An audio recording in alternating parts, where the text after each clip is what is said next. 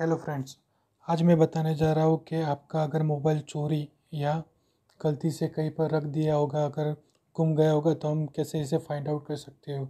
अगर आपका फ़ोन चोरी हो गया तो हम चोर की लाइव लोकेशन और चोर का लाइव फ़ोटो भी खींच सकते हैं।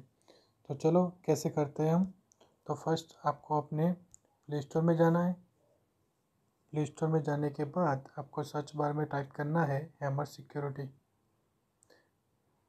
हैमर सिक्योरिटी के बाद आपको एक track it even if it off आपकी एप्लीकेशन दिखाई देगी तो उसको आपको ओपन कर देना है।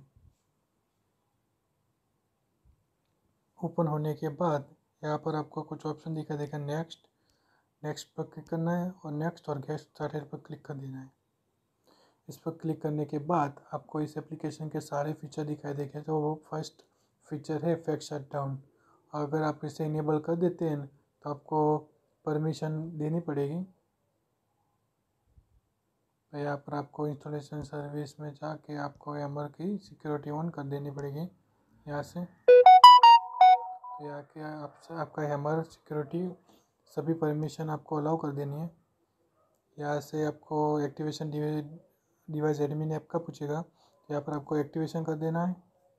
एक्टिवेशन करने के बाद आपको यहाँ पर परमिशन दे देनी है सेप को।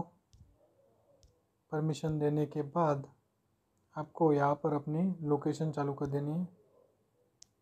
लोकेशन ऑन होने के बाद यहाँ पर ये लोकेशन फाइंड आउट कर देगा। फाइंड आउट करने के बाद यहाँ से आप इस ऑप्शन को इनेबल कर देना।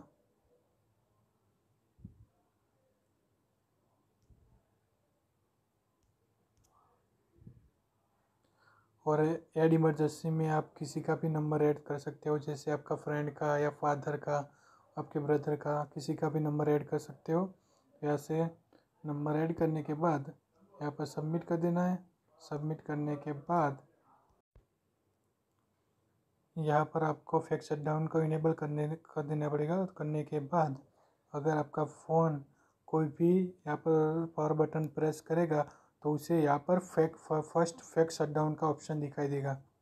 अगर वो यहाँ पर क्लिक करेगा तो यहाँ पर वो ओके दबाएगा तो उसे देखेगा शटडाउन हो रहा है और फेक शटडाउन हो गया जाएगा उससे क्या होगा कि आपकी स्क्रीन ब्लैंक ही रहेगी और बैकग्राउंड में आपका फ़ोन चालू रहेगा तो उससे आपके लाइव लोकेशन पता चल सकती है और आप उस कैमरे से आप फ़ोटो भी खींच सकते हैं। तो यहाँ पर आप ओके दबाकर फेक शट डाउन भी कर सकते हैं। तो यहाँ से यह फ्लैग शट डाउन हो जाएगा?